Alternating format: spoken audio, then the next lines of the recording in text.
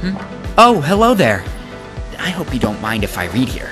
Don't play games with me! This time it's personal. You freaking ding dong! We could have been at Why it! do you refer to my creators as gods? That is what they are, Oracle. Wow, this suit is awesome! Totally worth that kidney I traded. Truth be told, though, I like this Mirage better. You think this is wise, human?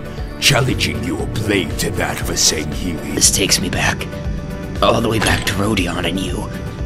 You desperately trying to save my life. I am your worst nightmare.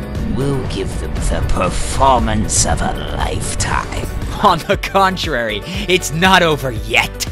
I've trained alongside the elite guard, where Optimus came from. He's capable of blocking our extraction to the real world and passage to the underworld.